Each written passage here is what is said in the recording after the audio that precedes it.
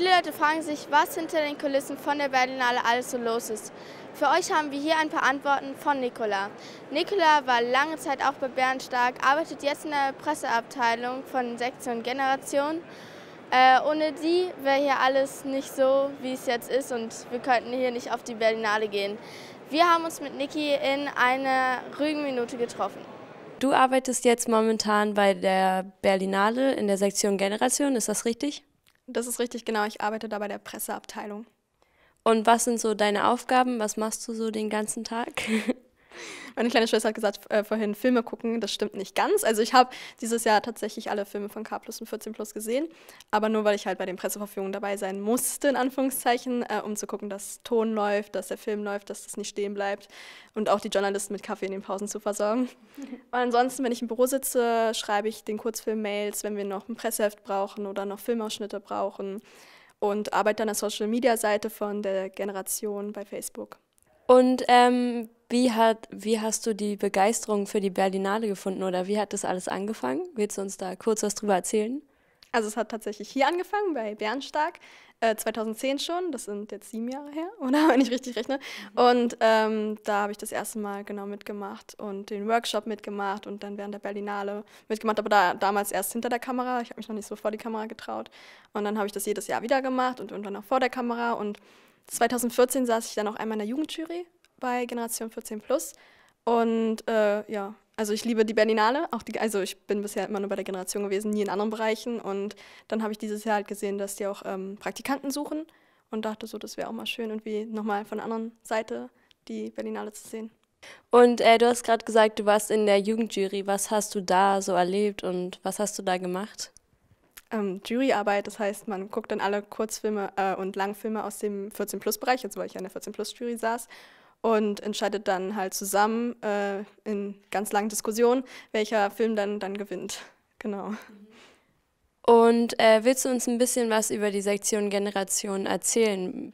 Was sind irgendwelche Besonderheiten oder das habe ich auch erst dieses Jahr gelernt. Also vieles habe ich erst dieses Jahr gelernt. Wenn man so da arbeitet, da kriegt man eine Menge mit. Also das ist äh, erstes Kinderfilmfest ab sechs Jahre hieß das. Ich weiß jetzt nicht, 1900 irgendwas war, fing das an. Und dann ab 2008, glaube ich, hieß es dann Generation K plus 14 plus.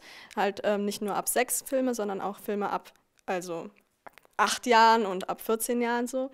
Und ähm, genau, Marianne leitet das schon sehr, sehr lange, also Marianne Redpath. Und ähm, ja, was willst du noch wissen? Mir fällt gerade so spontan gar nicht mehr als dazu ein, was man noch dazu erzählen könnte, weil es ist einfach ein Fest. Äh, äh, bei der Berlinale darfst du ja in alle anderen Sektionen erst ab 18. Und bei dieser Generation ist halt ähm, der Vorteil, dass du auch halt, wenn du jünger bist, schon ja, ins Kino kannst, die coolen Filme gucken kannst, ja. Und danach vor allem halt auch ähm, mit den Filmteams auf der Bühne, da kannst du noch Fragen stellen, weil immer meistens der Regisseur da ist oder die Hauptdarsteller. Du bist ja 18 oder über 18.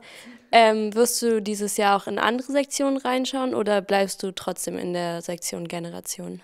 Ich werde nicht so viel Zeit haben, Filme zu gucken, weil ich ähm, während der Berlinale im Pressezentrum im Hyatt Hotel sitze und mich da um Pressekram kümmere, Fotos mir anschaue, die der Fotograf von der Generation macht und beschrifte und zuordne.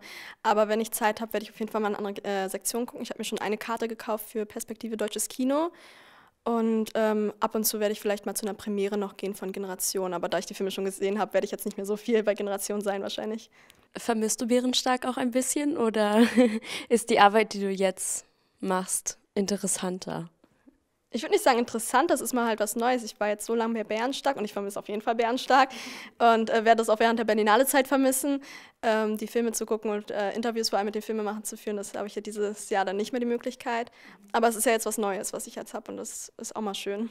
Was macht, also inwiefern hast du danach noch was mit der Berlinale zu tun oder willst du es nächstes Jahr wieder machen? Was denkst du?